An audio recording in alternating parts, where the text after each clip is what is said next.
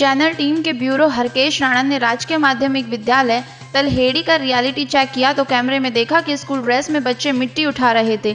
तो कुछ बच्चे कूड़ा करकट खाद के कट्टों में डालकर एक स्थान से दूसरे स्थान पर ले जा रहे थे।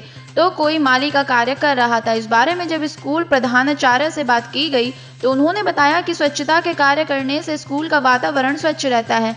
रियलिटी चेक से जब पूछा गया कि सरकार का कोई नोटिस जारी हुआ है तो प्रधानाचार्य ने इनकार कर दिया। ये सब आप सफ़ाई करा रहे हो बच्चों से इसके आप लिखित में आदेश हैं? आज के नहीं है सर। लेकिन ये है कि आपने हर पखवाड़े में साफ़ सफ़ाई का काम ज़रूरी देखा। बच्चों से करवाने के लिए ऊपर से आदेश होते हैं। हाँ जी स्वच्छता का कार्य। वहीं जब स्कूली बच्चों को इस बारे में बात की गई तो उन्होंने बताया कि प्रधानाचार्य हमसे रोज ही यह कार्य करवाते हैं। हम स्कूल में पढ़ने आते हैं न कि स्कूल की सफ़ाई करने। और यह सफ़ाई करने का कार्य तो सिर्फ़ सफ़ाई कर्मचारी का होता है। इन सब बातों को लेकर उच्च शिक्षा अधिकारी से बात करने के लिए संपर्क किया गया तो उन्होंने कैमरे के आगे आने से इनकार कर दिया। सर ने बोला था कौन से सर ने बोला था? प्रधानाचार्य जी। ने? कौन से हैं प्रधानाचार्य जी? सर। आपने बोला उनको सफ़ाई के लिए।